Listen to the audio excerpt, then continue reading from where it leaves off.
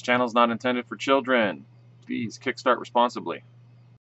Hey everybody, it is late on a Tuesday, and that means we got a big old board game haul. I am hopped up on triple chocolate brownies to get enough energy to make it through the night. And uh, thank you for everybody that has already subscribed. If you want to be one of the cool kids, you can hit the subscribe, share, like, all that kind of stuff yourself, and uh, be part of the community. Comment on stuff that you enjoy. Maybe I'll remember something else you might like because we are at uh, 62, 6,223 reviews as of the 41 that'll be on this episode. So let's get to it. There's plenty. First up, we are busy defending America. This is a hypothetical, which means that it is a false version of the past. Solitaire game, which means you get to play it all by your lonesome if you need to, and you're going to be intercepting bombers that are trying to make it to the mainland United States. Let's take a quick look. Compass Games gives us lots of different war games, all kinds of cool stuff, and uh, it's been a couple of weeks since they've had something out, but they usually have something every week or so. So uh, yeah, they maybe they're slowing down in order to produce the many board games and war games that they've come out with already. This one looks very much like what we see from them. You have the uh, square pieces, as you can see, that come with most of these war type games. This one is two to four hours, 14 plus. You can see they're uh, coming from across the Atlantic and trying to make their way into the Western Hemisphere. And they're going to do it by these planes. So it's pretty cool the way it's all laid out. You have different systems, controls, you have to worry about fuel, all kinds of things. So if you are an aspiring pilot and you're not playing Microsoft Flight Simulator all day and night, then maybe you'd want to pick up one of these. You got runways, you got different types of planes, prop planes, jets, all kinds of cool stuff. Uh, multiplayer um, can be possible. It says that if you're going to play cooperatively, then you can do two or more people. Uh, but it's not meant to necessarily be played with multiple games or anything like that. But you can work more people in, so that is neat. And uh, there will even be uh, da, da, da, some uh, extra content if you pick up the Paper Wars. Uh, I guess that's a magazine, probably some other type of zine, but you can get an expansion module to go along with it. So there will be some future support. Something nice to think about when you're defending America. One of the games that I like to play as far as video games, and there are not many, is the Assassin's Creed franchise, and I am not the only one. Apparently, almost 4,000 of you have already jumped on to this dice game based on Valhalla. This is the only Assassin's Creed game I have yet to play because I play them when they get cheap. If they're going to get cheap on Steam, I'm not going to spend a bunch of money just to be first in line. So that's how I see the world. It's about $36 coming out of Canada. Uh, is this Flyos? No, this is Pure Arts. These folks, I don't think they're the ones that did the other Assassin's Creed game. Let's see. What have they created? Master Nine Eyes. So they are not part of the other Assassin's Creed game, which I have backed. I just happen to forget who did it. Um, but you can pick up all these different types of counters and stone dice things and some bowls and you know you can use them for just about anything that you want to play i don't think you have to necessarily use them just for this orlog game but that part is up to you. Uh, if you can remember what the runes mean, then you can remember what the numbers say, and then take your chances. Rolling them bones. $199 to get all the cool stuff. Um, that part's up to you. This little horn thing as a first player token would be pretty neat, so just, you know, throwing that out there. I believe as a tribute to the Oompa Loompa, we have Chimpah Limpah. This is some type of cute fantasy football troop. As you can see, uh, some of them have pugil sticks. Sometimes you can get free things. Uh, you would have to be pretty early on a Tuesday morning to get it free during the first 24 hours because I don't know when it exactly launched and I'm doing this at night. So sorry, they should set those to 48 or 72 to get more people in if they want it to make any sense. But that's just how it goes. Maybe you can tell them here on their Discord server. There you got your monkeys. There's a banana. Uh, they're hard to see because that's just how it works. When I tried to expand things last week, it didn't really show in the OBS window. So uh, we just have to kind of deal with it. There are resins and there are metal, uh, different models that you can pick up. Here we go, some painted versions of tree monsters. And uh, then you can see the various components that they have provided. A little turnaround, so you got a little monkey in the tree in the background with the banana creature. I like the bananas for teeth. That's a cool little thing that they got going on. Lemurians, um, I don't know what these guys are, if they are supposed to be Oh, I guess they're lemurs and not the Lemuria that was supposed to be one of those fallen uh, continents. So that part is pretty neat. Um, they got the big old eyes and the primate structure. Then we got the big boys.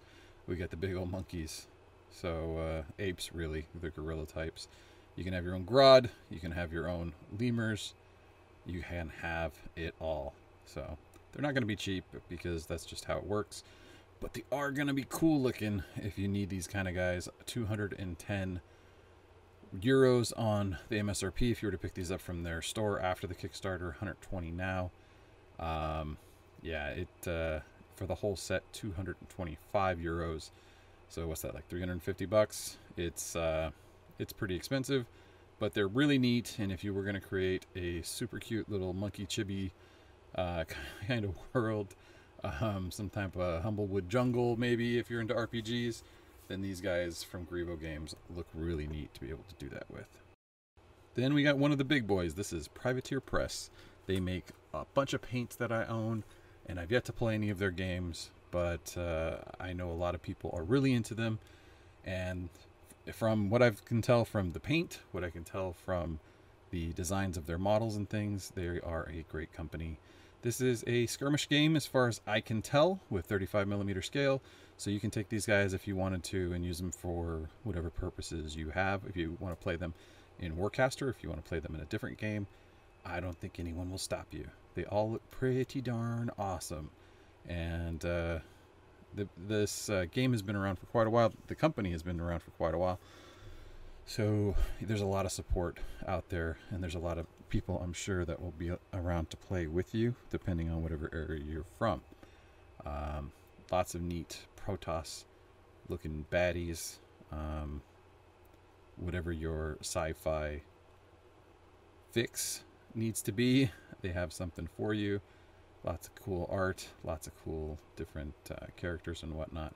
You can check out the rest of the site. As you can see, I've only been about halfway through it starting with the $50 book if that's what you need and then for $150 you can start getting the uh, starter sets which means if you want it all four you're going to be shelling out the whole wallet but that's just how the games go sometimes.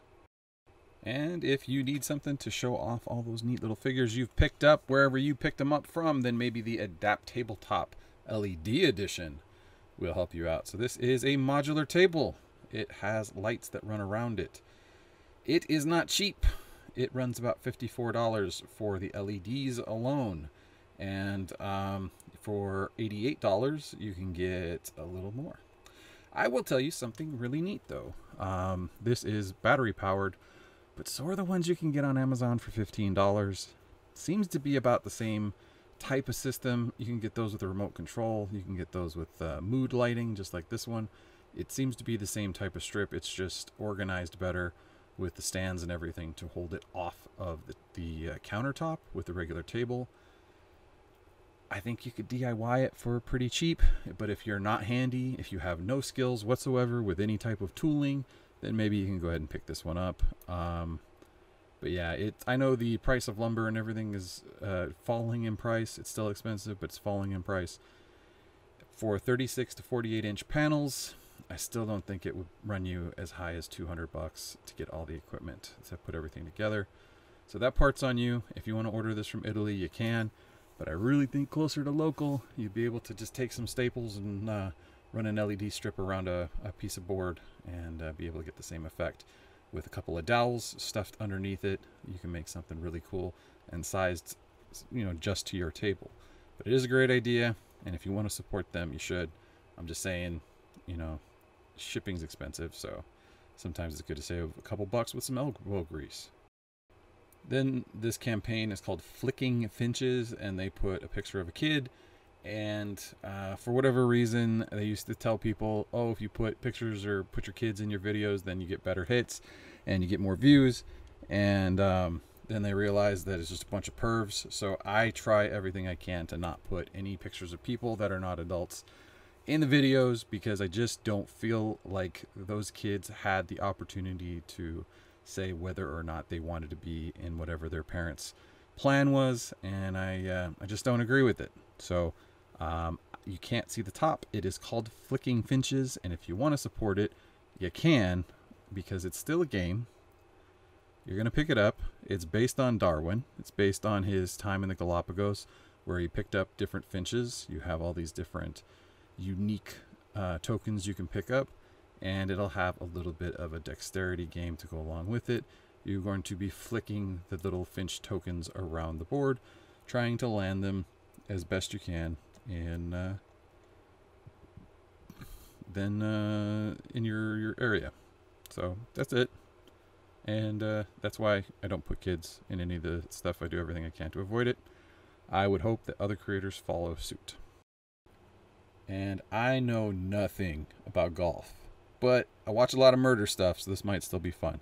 And this is Methodology, which is an Agatha Christie book, um, Murder on the Links. So you can have all these different characters. I'm not sure if this is a Poirot novel or not. I wouldn't be surprised if it is, um, but I'm all for being able to examine evidence and do other cool things. They got a bunch of characters and cards and objects, basically what you'd expect from any clue type game. I don't think you actually have to solve it by looking at the clues yourself and solving them that way. You use the mechanics of the game to do it. I'm more for the games where you have to kind of use more of your your own intuition rather than the the card values um, and rolling dice and that kind of stuff. So I'm kind of set for this type of game because I have Brook City, um, but you may need something like this to uh, play along with Agatha Christie. And why not? The lady uh, was very prolific. She made a lot of really cool stories. Why not uh, support her, even uh, all the way posthumously when it becomes a game and uh, all that kind of stuff. Can't wait for Death on the Nile to come out with another cool movie uh, that I get to watch. So, yeah, until then you get some games like this one. Then one of my favorite songs by The Clash, Train in Vain. It's a secret track. I think it's uh, on London Calling. They made a great song, and they didn't have time to get it on the artwork on the the backside of the, the album, so they just left it off of the artwork and put it on there as a secret track for everybody. And uh, if you haven't heard Train in Vain, I think it's amazing.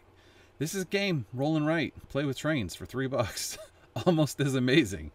Um, not a lot of information here. You just have to like click on the here's the rules. You can watch it. So type of thing. Derik Duley has come out with a few different games. A couple of them, I think, even in the last year. Uh, if we did take a quick look at the rules, it is a yeah.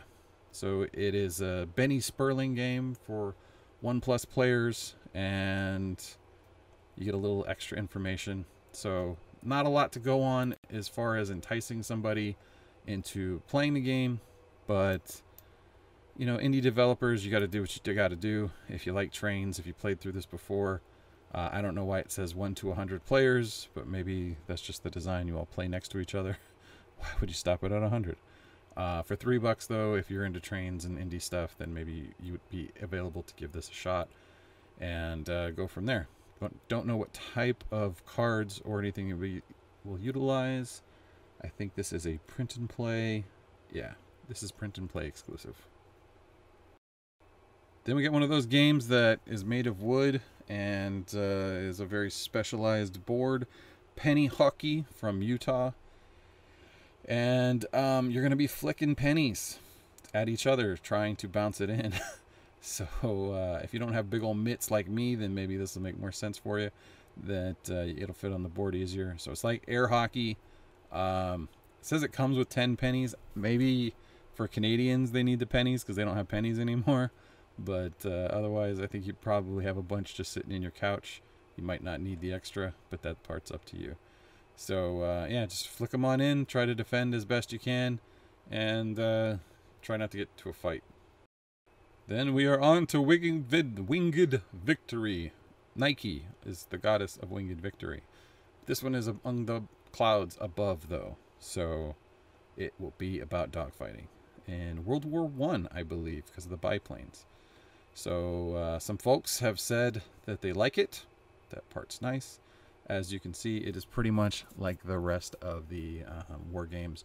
You get some play mats, encounters, the square types, and a bunch of different tokens. Uh, sometimes you see these with uh, little standoffs made out of plastic. That doesn't seem to be the case here, but if you already have those, then uh, maybe you can make it more 3D for you. And uh, yeah, you get a little grid, you set yourself up, you fly around and blow each other up. So uh, basically, uh, you know, you fly. Uh, if you want to check out more of how combat works and all the little uh, graphics and things in motion, then uh, you can check out the page for yourself. That's why they're easy to click. And otherwise, we're going to move on. But uh, you can download the rules also if you need to. I was just scrolling down to check and see there is a deluxe version, but if there was any like tabletop simulator or anything, there does not seem to be just yet. If you need a World War One aerial combat game, then maybe this will be the fun one for you. I don't think we've seen that many from World War One, but we've seen plenty from World War Two. And like I said, those ones from World War II might have the standoffs that you can use or 3D print them uh, and uh, make it more like a dogfight. Now it's time we start getting into the fantasy stuff. This is Guardians of Fire. This is supposed to be two to five players, but based on mythical Persia. Uh, you may not have spent too much time. Uh, his name, uh, I'm thinking of like Rashtad or something, Ramstad. Um, the word paladin, paladin, comes from uh, the same uh, type of uh, oh man, Rastam, Rastam, something like that. I Wikipedia'd it not too long ago because the Suicide Squad was fighting one of them in an old comic book I was reading. But the word paladin is actually from his adventures, so you could definitely take these guys, angels, demons, etc., two to five players, and fight them against each other. So you got the big bads with their wings of, of skeletons and bats, and then you got the the, the other non-bads with the uh, their own types of wings and things coming at you, uh, like a phoenix. You get all kinds of uh, things that you might not know were based on Persian mythology, and maybe some Zoroastrianism to throw in there as well. So um, yeah, none of these guys are the name I'm thinking of. He's probably like the most famous Persian uh, mythology thing, and everybody's probably yelling it to the computer right now trying to tell me what it is. But my my brownie is not giving my brain the uh, the things it needs. So uh, maybe you'll just have to go from there. There is some cool art. There are definitely cool minis. You see it all going on here. And uh, if you want to spend your money on it, you definitely can. $129 for uh, the early box, and if you want to get more cool stuff, it goes up to about 200 to uh, 250 dollars. That's about standard for these types of mini games. There is not a lot of minis, but there is a lot of uh, other components and things to go along with it, and a lot of money spent on artwork. I like this one the best. This is the Diva of Drought Apush, but uh, he'd make a great Balrog. He's got that like crown of uh, skulls and things in the background. Even if you didn't like the game, you will love the minis, and you'll find all kinds of cool ways and things to use them for. Uh, this guy, the Ghouls of Persia, would work great in something like Resident Evil.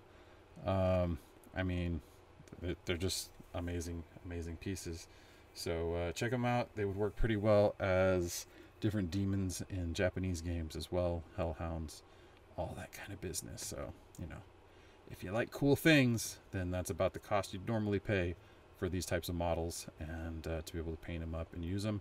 Or uh, just tell someone like Thrill Studio that buys up these type of games that you'd be interested in the models and uh, maybe they'll uh, piecemeal them out for you in the future.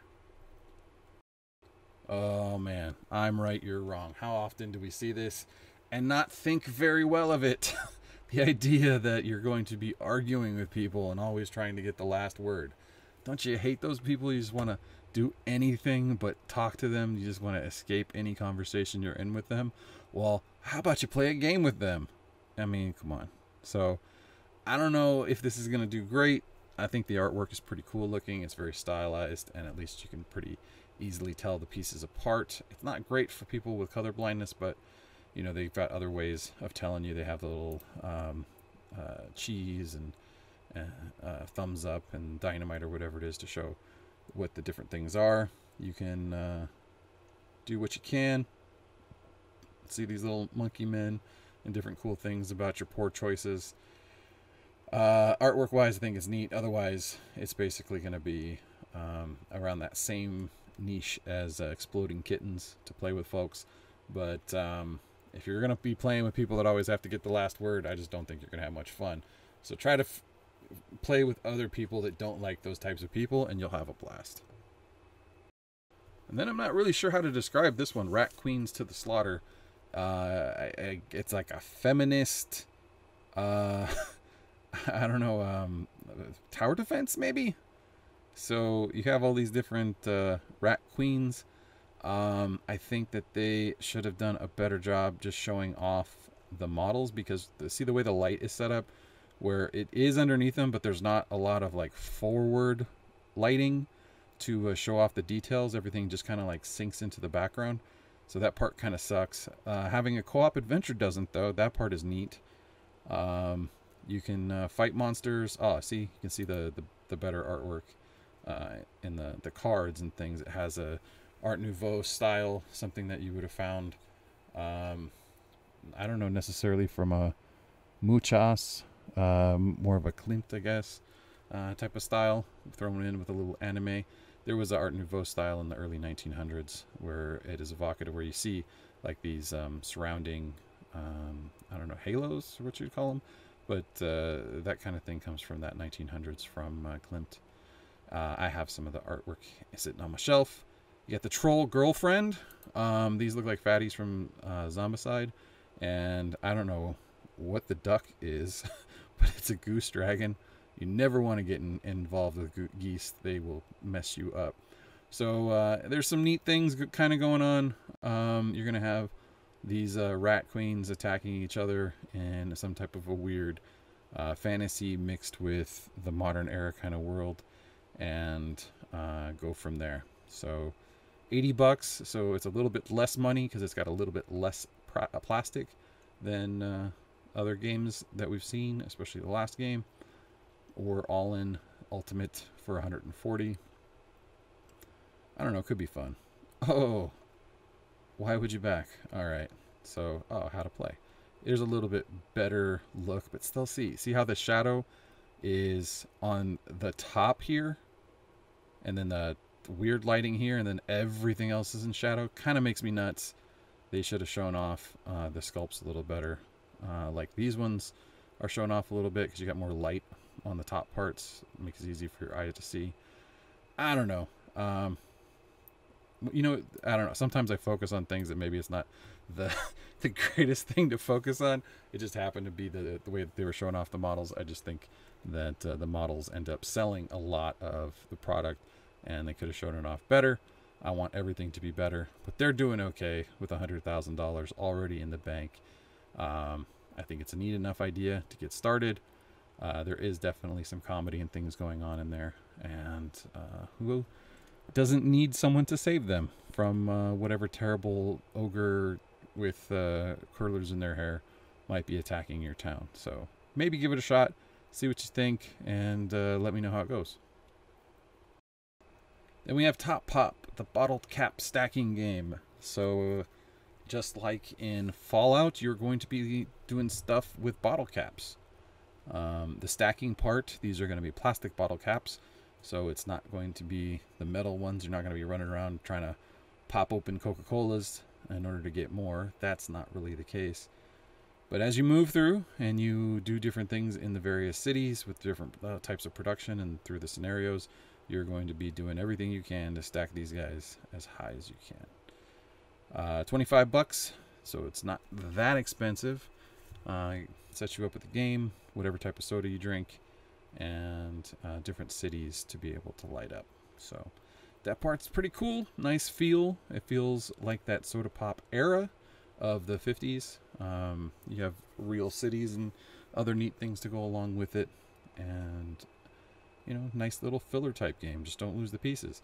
But then again, if you did lose the pieces, maybe you do just throw on regular soda pop, uh, pop tops.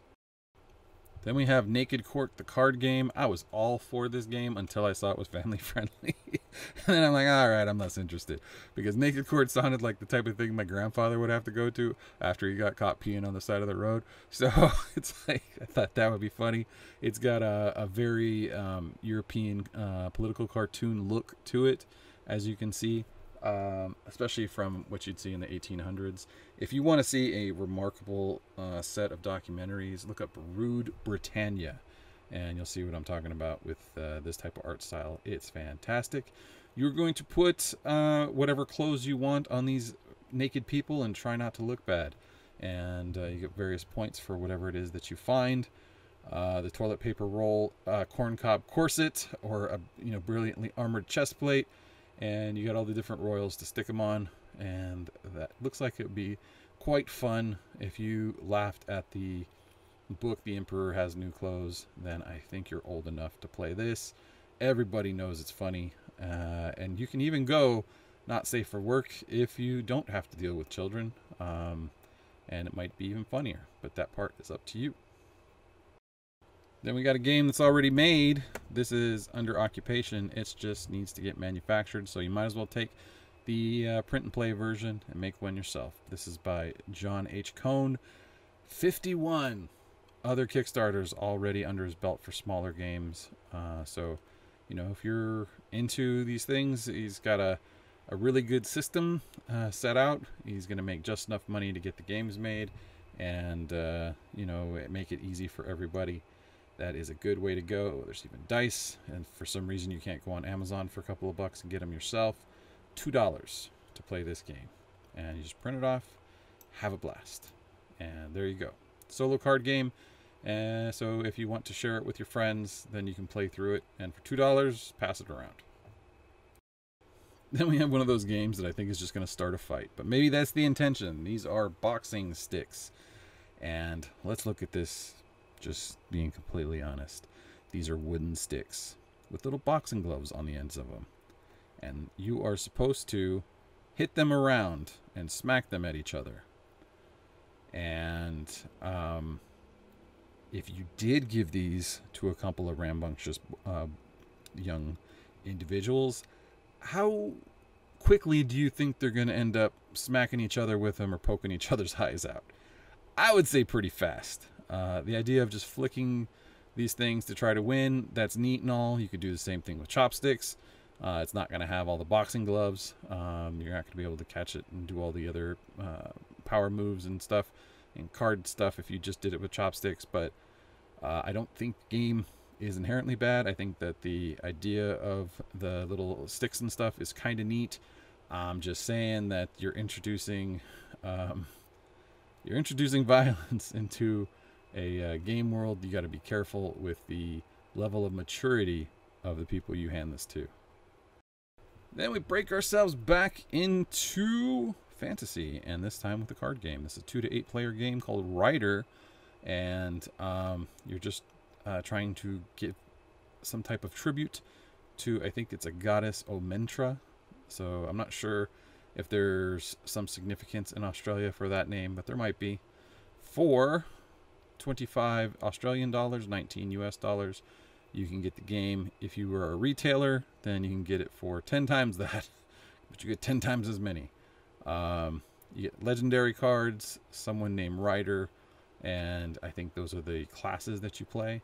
Then there are also some champions and other types to go along with it. Uh, I don't think this is a collectible card game. I think this is just an all-in-one card game. So uh, if you're into that kind of thing, you can check it out yourself. Um, yeah, I don't know what these long-winded things are. I think these are stories that are written for each of the characters. So if you wanted to go on the Kickstarter page and then and read big long stories that go along with it, then uh, that'll give you a start. I think it'd be better told in flavor text, but hey, what do I know? Then if you want to play by post, and by play by post, I mean give these people money and wait 12 weeks to get a box at your door. Then uh, Train of Terror might be the solo horror game for you. Um, it's supposed to start right away and then be delivered through Halloween, so you'd be getting it pretty quickly. Uh, they have a few different other ones. You can check out the free teaser also to go along with it. Uh, I've gotten the, uh, what you call it, the Hunt a Killer box for a year. So for this one, uh, at least you can get the pen and paper or print and play version for 12 bucks. Uh, for 26, you get postcards, and 66, you get some artwork to go along with it. So it is much less expensive. I think it was like 250 bucks or something to finally make it all the way through the first story from Hunt a Killer. So this is much less like that. It's a little bit more like an RPG because you can see the way that the maps and everything go along with it and that it is a little bit more like fantasy. Trains are uh, going to be a little more popular, especially because of Van Richten's Guide to Ravenloft, and one of the domains of Dread happens to be a train that goes between the different domains. So uh, this might be on people's mind. I think you should check out. Oh boy, I can't think of it.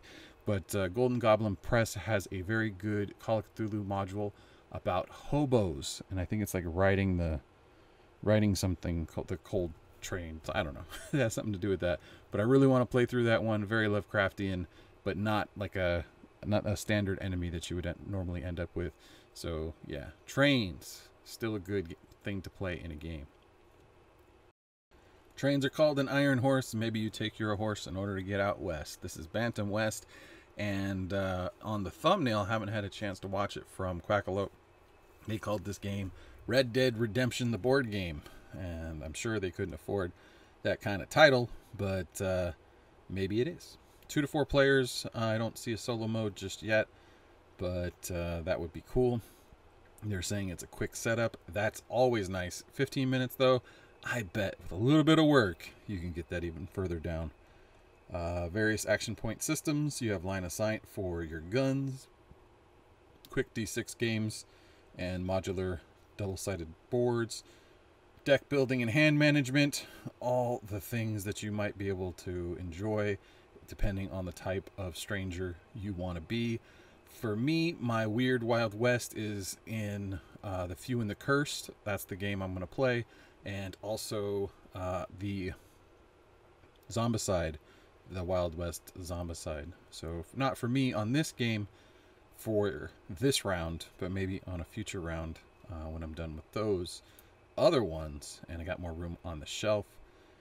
Meeples, a couple of uh, various uh, plastic pieces to go along with it, and where did it go? I was scrolling and then it disappeared. I was going to show you whatever the models were. All right, well, I guess the page doesn't want me to show you the models. Anyway, you want to check it out yourself. There are lots of uh, little pieces that you could upgrade this game with that you probably already have from previous things. You can have a great opportunity to use all your new painted Wild West meeples when you pick them up from uh, the previous campaigns, and I know a bunch of you already did. Then we're going to run to Circle of Friends. This is a three-in-one game system for one to six players. Um, yeah, if you just have a couple of people sitting around and you need a game to play and you don't need uh, super complicated artwork, then uh, maybe this game is for you. Uh, as you can see, there is a circle of friends, then trouble at hand, friends and foes. Uh, looks like it uses the same types of cards, same type of art, all that kind of stuff. It's about inclusion, as you can see from all the rainbows, and uh, there's nothing bad about that. The bad parts come from these bullies, but they make sure to call them ignorant to go with the theme. So uh, if you want to have this type of, um, I don't know, uh, if this is your worldview and your kids have this worldview and they think that this would be fun, then uh, jump on and play along with it. And maybe this will inspire them to be better people Maybe you're not a better person, but you can be better organized. This is Cubeamajigs Series 2. This is for all your trading card games. Uh, it's a cube. Well, not quite a cube. It's a rectangle. You can make these rectangles into cubes. um, but it's a bunch of uh, dice boxes from Hitpoint Press that you know from many other large Kickstarters. I think they're out of Canada, but uh, you can ship in a lot of different places. You get tuck boxes. You get uh, let's scroll down uh, boxes for your tuck boxes that you can keep your stuff in and organized however you feel the need you can uh, even get other types of things to color coordinate to go along with it, store dice, all that kind of business.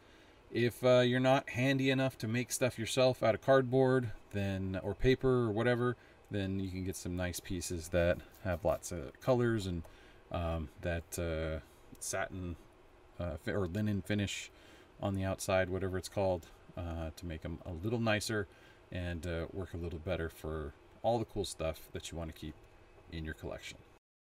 Now we have a game that is probably on the perspective of the bully. This is Hype Tag and it is about strategies in recess. So, whatever type of kid you were trendy, sneaky, confident, and popular uh, I don't see any nerds here. So, not what I was. Um, you can be uh, these various characters and run around and play tag. Uh, I worked on that movie Tag uh, at the last job with uh, Jon Hamm in it and a bunch of comedians and uh, it's kind of fun if you just want something that's a, a neat little movie. And it was about uh, some friends well into their 30s and 40s, still playing the same exact game of tag. And at the end of the movie, they show you the real people and the types of pranks and things they pulled on each other so that they could continue to play. Uh, maybe this will inspire your kids to do the same thing. There's some neat art work. Uh, looks like grown up Dora the Explorer. I think that's the the best I can uh, I can relate to. as far as how this art looks. Um, yeah, check it out if that's what you're into. Play tag if you're stuck inside, and go play regular tag if you're not stuck inside. And then we have Taelmoor, such like Telmore or Bigger Tail. Hmm, neat title. The Scan and Play Dungeon Crawler. All right, so you will probably need your phone or tablet, and you have QR codes.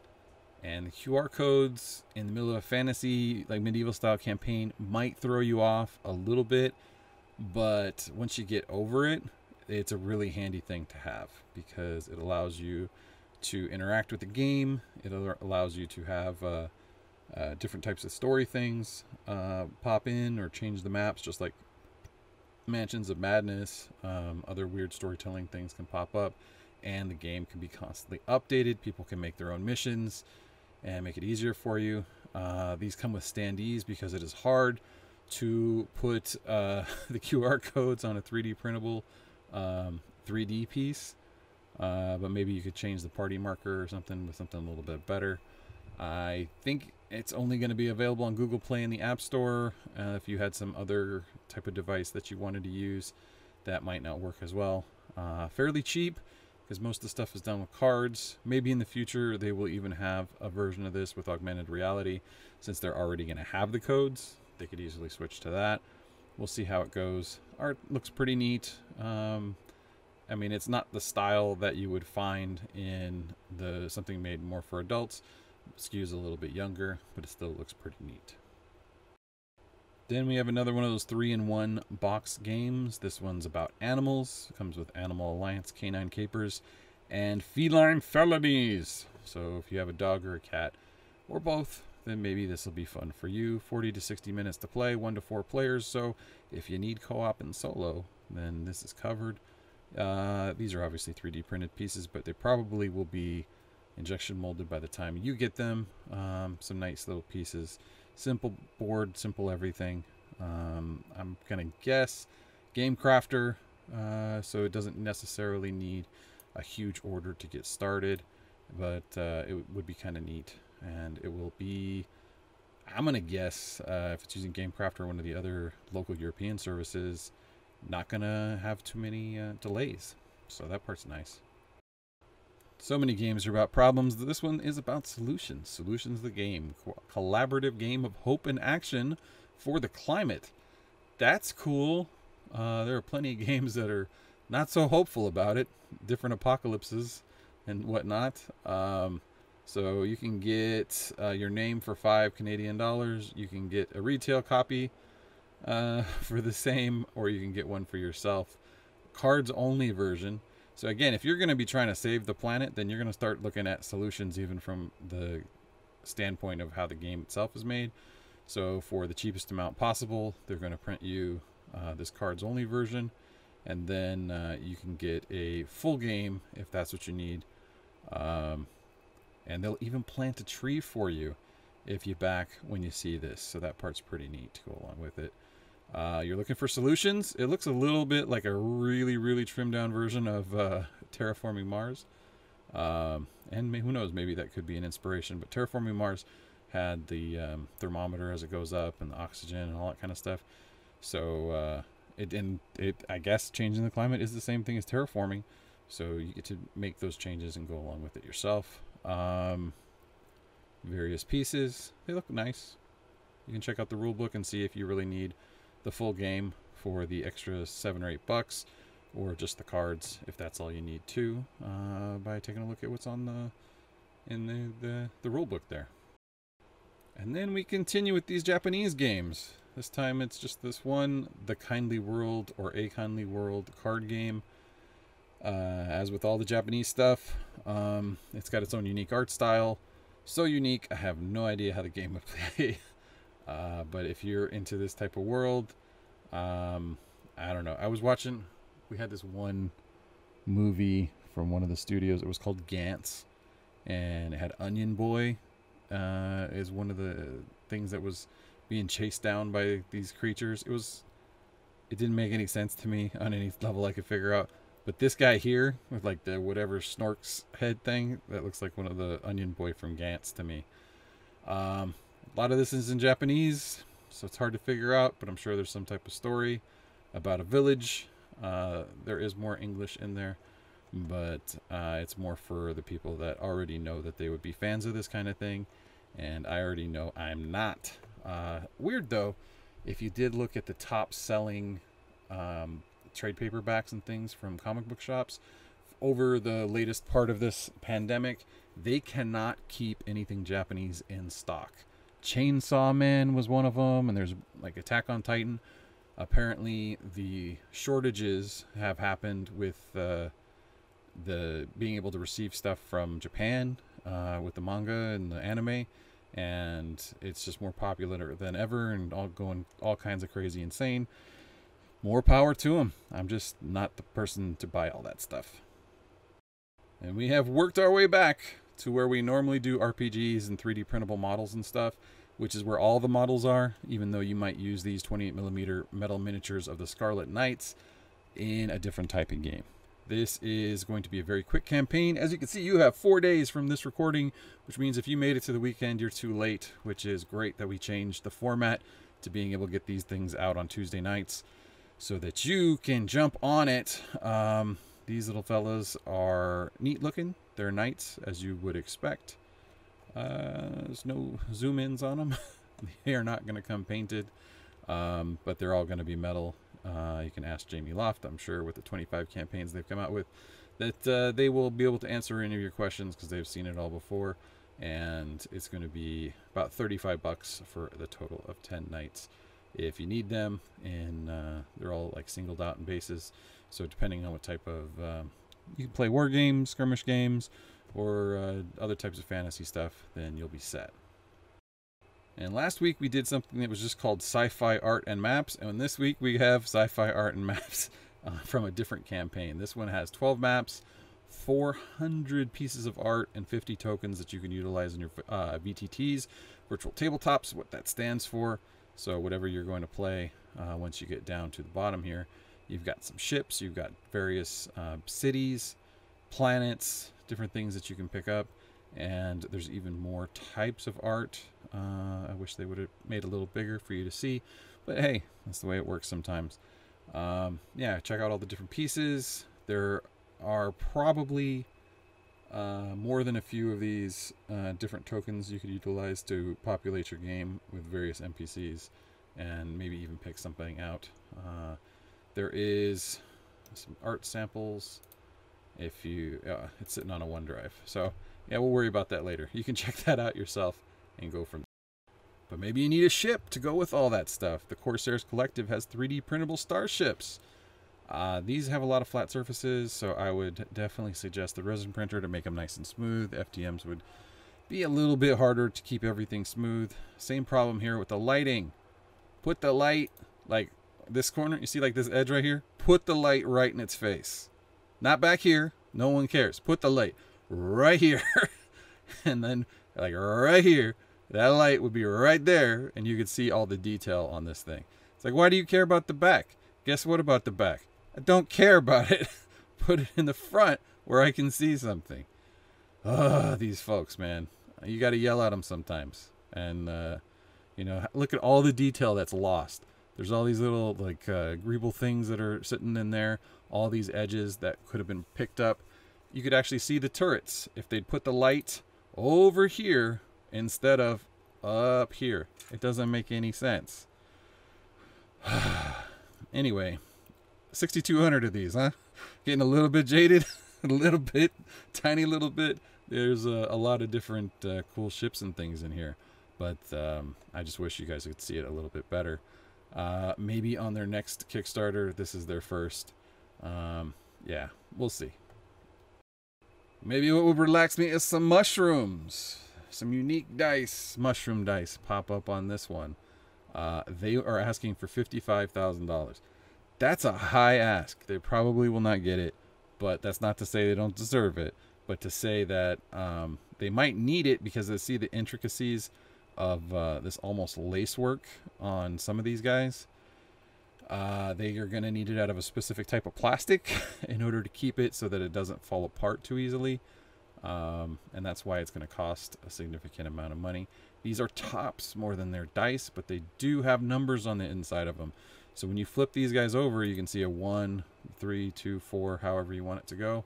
Uh, again, if the light was a little bit better, then you'd be able to see it a little easier. Um, the idea being that it's just a different shape, whatever ends up being on top, and at least these are weighted in such a way that they'll kind of like land in these grooves and you'll be able to really see what's on top. Some of these have been really round and uh, might have in-between states. These ones are a little better at having states that um, you'll be able to really tell right away. Um, they're mushrooms, man. That's uh, that's pretty neat. The way that they're all put out. This one, Phallus indusiatus. You know, this is a cool looking thing but you're gonna have really really tiny connections uh, so it might uh, might not have a lot of weight to them uh, maybe they even would benefit from being metal and I'm not a big metal dice person because they can be really expensive these ones are not going to be cheap at 55 British pounds uh, what does that come out to that comes out to about $77 for a set so they are going to look really cool and if you had a fungal druid uh, or some type of swarm keeper ranger, then this would be pretty awesome. Or you're running in the Underdark and you want to roll for the Myconids, then these would be pretty cool. But that's a lot of money to put at it. And uh, I would say the D20, the one you're going to use the most, is the weakest structure. So that part might be hard. Um, if they came painted already, then that would be something that would be way more enticing. Um, but I think it's a unique challenge pretty neat idea. And one of the things about mushrooms is they can bioluminesce uh, in some uh, versions of them, some species of them. This would be a great opportunity for you to bring that into your paint jobs with some powders, and that would be pretty cool. So yeah, just something to think about, but uh, not a bad idea. It's just maybe materials wise, there's some better options. Definitely you don't want these out of resin. They're, they're too weak for that. Cyberpunk, you say? You like cyberpunk and you'd like some buildings? Well, how about the Vert? You can get LED lightable, magnetizable, modular, stackable cyberpunk buildings. So that's what we have here. Check it out. You got a little guy. He has got a gun right there. Pops on, pops off. That part's pretty cool. These are locking together. So that part's pretty neat to go along with it. Uh, and uh, big enough for most of your, your fellas to go in and out of, at least from the ones here. You can get the open lock system as part of it. You can put some magnets as another part of it. That part's all super duper cool. And uh, yeah, they are routed for lights. So if you wanted to show off, there you go, some LED lights whatever type of creator you are, it's pretty damn neat. Uh, the way that these display, as you can see, they've got the, the mold lines on the bottoms. Um, it's 3D printed on an FDM printer. If you are upset by mold lines, then maybe you'll move your way over to something on a resin. Um, but they do look pretty darn cool all the way around. Even like the different modular scaffolds and street clutter and other cool things, little greebly things that you can stick on the, the walls to make each one of them more interesting. I like it. Uh, maybe, maybe you can get a really small, like Raspberry Pi um, LCD screen and pop it in some of these things, and you can have like big displays for not too much money. I think the last one I saw was a 7 inch display for like 30 bucks with the Raspberry Pi to go with it. So think about it. You can have some cool things going on. Then we have Creature Feature Quarterly. Um, this is for OSR, so if you are into the old school, you can get some paper minis. You can put these in your virtual tabletop. You can get all kinds of cool things. Uh, this is the seventh one in. They've come out before. You recognize these uh, zine covers, all the ones that have come out previously. You can get all these different kind of cool characters. I think you can use them wherever you want. They just happen to be set up uh, originally for uh, old school. But the old school is based on the first versions of the newer games, which means that it wouldn't be the end of the world for you to move these into the more um, modern versions of those same games. So check it out. If you've been uh, enjoying this series already or you want to jump into it, then uh, maybe you can contact them and see about getting the older ones to go along with it too. Then also for the old school, we have Seas of Sand, which has uh, Crocodile Tarrasque just sitting in there from the look of it. And it is about the vast ocean of liquid sand. Funny thing about sand, all you got to do is really blow air through it or bubble some water, and it will become a uh, ocean or a fluid all on its own. You can do it with uh, gases that escape. You can do it with geysers. You can do it with lots of things. So this isn't that far off uh, quicksand kind of runs the same way, and people sink all the time. Um, and you can see lots of really cool science videos to go along with it.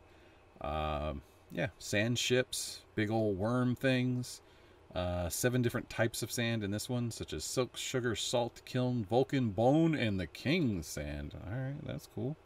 Plants, animals, phenomena, um, merchants, and piracy things that go along with everybody, and uh, maybe even some cactus. So that part's pretty neat. Also, pick up the book, play along, get yourself uh, some sand in places that you don't enjoy, and uh, I'm sure you'll have a good time playing it. Maybe even work your way into doing uh, some of the other desert type um, Dark Sun style campaigns later on uh, as you move past the old school and into the new school. Then that was for an old school. This is for every school. This is the Book of Gaub.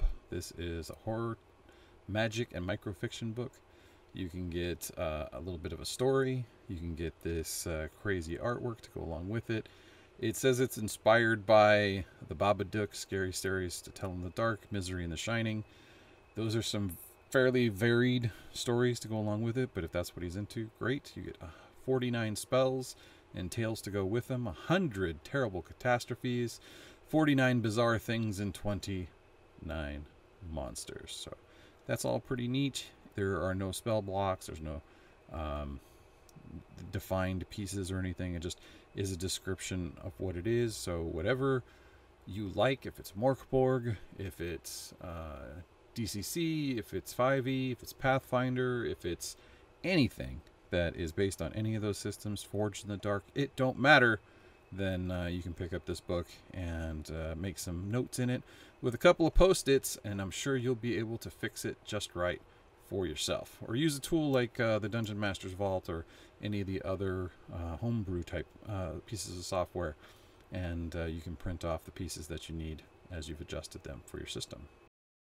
Then, if you don't have a GM and you just want to beat each other up, then uh, Dueling Fops of Windermere is a fencing, seduction, risky behavior game. And if you think about it, they're all just types of conflict. Um, if it's a dance between your hearts, if a dance of your minds, or a dance of your fists, then it's all about overcoming the enemy's defenses. So, uh, 44 pages, 22,000 words. Oh, wow. Um, but uh, you can also get a few different uh, big gay nerds and uh, Electric Dice podcast uh, pieces to tell you a little bit of how to play it. Um, that's basically going to be it. Instead of having uh, the conflict or the stories spell out, sometimes it's just me versus you. Let's just jump into it. And that's what this system is for, just to figure out who is going to come out on top. Then from Morkborg, which we haven't seen too much from, this is the Kennels of Carnage. Uh, you're going to be saving some little doggos, and uh, it's pretty small brochure size. You can get seven new creatures, three different cursed artifacts, a Hound Master, and 10 rooms to explore with some random events and other things to go along with it in that unique Morkborg yellow, black, white, pink uh, kind of style with the reds. Um, yeah, it is. Uh, if you haven't played it yet, it is a uh, rules light system with very dark themes. It's about the apocalypse that is currently going on, not after the apocalypse. The world is doomed, and you're just following the aftermath. That is Morkborg. Then we're on to Angels and Devils. If you didn't like, or maybe you wanted to expand from Baldur's Gate, uh, the Avernus adventure book, then maybe you need more angels and demons. So here you go. You have a whole new set of books to break you into it with uh, some neat illustrations, some nice pieces that um, explore various parts of the world. Some uh, interesting, again, with that same Art Nouveau style um, that you would have found. I mean, you found on like absinthe ads and uh, other neat things. If you go to Century Guild and look them up, I have bought some art prints and books. There's a book called Flowering Lines that Century Guild has put out that's really neat for that type of art style. If you're into this type of art style, um, that's what I'm referring to. Secret of Cragtop Citadel, The Devil's Bane, and Wrath of the Pit Fiend. So you have the different adventures that go along with it. Um, it seems like it would be your own smaller version of Dante's Inferno, or not necessarily just the Inferno, but the whole Divine Comedy, with all these different characters. So new types of angels, new types of demons and devils, and all that kind of fun things, including the cultists that go along with them, boons, blessing, feats, powers, all the fun things. Maybe even after you hit level 20, when you start taking on gods, then maybe this would be the time to uh, to bring that in. If you still like those characters and you want something that is a little bit higher stakes.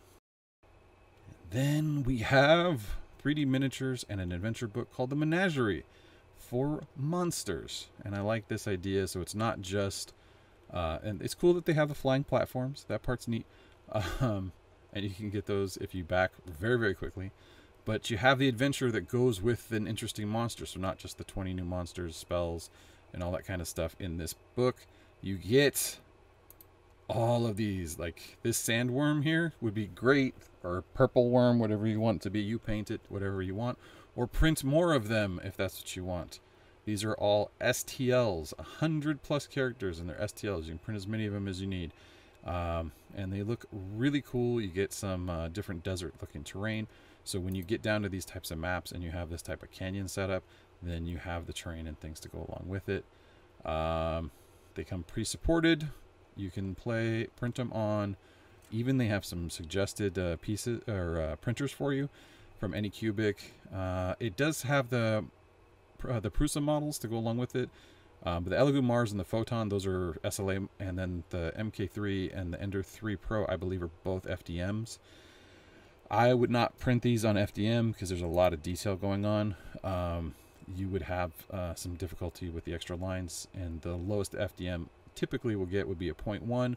There might be some reliable 0.05s that'll be a little bit better, uh, but by being able to print an entire layer at one time, you get less uh, vibration and other weird things that go along with it, and you get a much better print for. I think these Elegoo Mars that they suggest here, it's like 200 bucks right now. So you'd be able to pick these up and go along with it. Just throwing that out there. Um, these are probably going to be some big worms and whatnot, but these guys are going to be in your 28 millimeter range. But look how neat they look. You get some uh, some grungs and uh, other cool things, and uh, some projected like dragons and whatnot as stretch goals. We'll see how it all turns out. And then Squeaks in the Deep tabletop role playing system we have not heard from Onyx Path. What? Yep, it's Onyx Path. In a, quite a while. This is for Pugmire and Monarchies of Mau. These are their animal based RPGs. Onyx Path are some of the people that are doing Chronicles of Darkness, which is the New World of Darkness system. And uh, they're a pretty experienced RPG company. They've come out with quite a few things from before. Uh, this just happens to be a different system from them.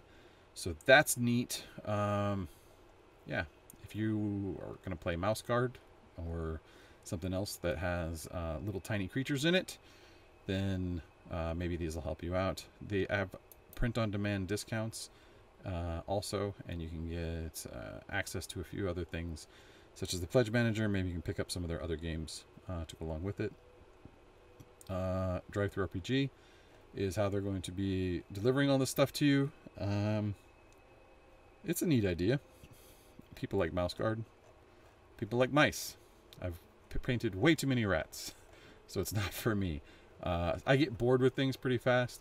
I actually played way too much Baldur's Gate and Icewind Dale, having worked on uh, some of the releases for Baldur's Gate 2, and uh, I was one of two people that had to sit there for interplay and play uh, uh, like every game that was available at the time for Windows. Um, what was it? Windows XP was going to release, so I had to do all the compatibility testing with old games and I got super duper burnt out even on uh, RPGs, and I didn't touch Dungeons and Dragons or any of that kind of stuff for decades.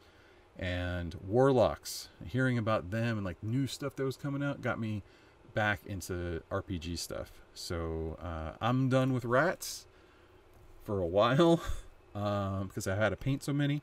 But maybe in the future I'll pick that up again because I seem to have that happen to me uh, probably more than once in my life. And then some folks have noticed from last week we are getting the Christmas stuff. And this was Twas the Night Before Christmas dice. So if you want D20 ornaments, they look like dice. You can probably roll them, um, but they're going to have the little uh, hook things off on the sides, as you can see. And you want these on your tree. Um, then you can pick these up here. I don't know what they're necessarily going to be made out of. You could probably craft these yourself if you uh, get some foam core and some glitter. Uh, but if you're not that handy or you want things to be a little bit more precise, then you can pick these up. As big as uh, tabletop gaming and all this kind of stuff has been this last year, I wouldn't be surprised if there's just a ton of these polyhedral things as far as ornaments and other things in your favorite nerd store popping in within the next three months. And that's it. We did it. And this time I didn't even lose the sound. I even figured out what happened last time. Whoa. That is, uh, you know, some a little bit of improvement. Anyway, uh, 41 down. And uh, we'll see more on Friday, I'm sure. And uh, I hope you guys have a good one. Yeah, I hope you're able to get all of the campaigns when they still have the cool uh, introductory offers. And if you can like and subscribe, then more people will find out about this channel and we'll go from there. Otherwise, hope you enjoy that. Hope you enjoy the uh, requested uh, painting stuff that I threw back up. Uh, I don't know if I'm going to continue to do painting videos. Um, sometimes it's neat to do something a little bit different, and that's part of the only reason why I do it that way. I am probably going to do my Tainted Grail pieces in a very similar fashion to the way I did Etherfields because I just like that old uh, bronze look on the board. And for some games, they just don't look right fully painted. Just like when you look at an old marble uh, statue, they look better when they're just white. And you can't imagine the gaudy colors that they originally had on them. But they just look more epic when they're just in a plain, easy, uh, high contrast um, color format. They, they somehow look uh, more important, and uh, I feel that way about the Etherfields. Look more dreamlike uh, when they're in that brass. They feel like old toys in that uh, type of color. And uh, Tainted Grail is about a forgotten world, and that old toys and forgotten look, I think, might be uh, the best way to go there instead of trying to do everybody in um, current colors, and maybe I'll just do some bases in different colors to be able to tell the pieces apart. I don't know. We'll see how it goes. Uh, Friday, depending on how many things come through, I hopefully will have finished the daily spawns from Zombicide Second Edition, and I'll show off the painted pieces if I can remember which ones I've already shown off. It's been a couple of months since we've been busy, and we'll go from there. So you got that to look forward to. You got your week all ahead of you. Hope you enjoy it. And Escape Room 2, I'm going to be watching on Friday night, so uh, things might come out uh, Saturday morning. We'll see how it goes. You guys have a good one.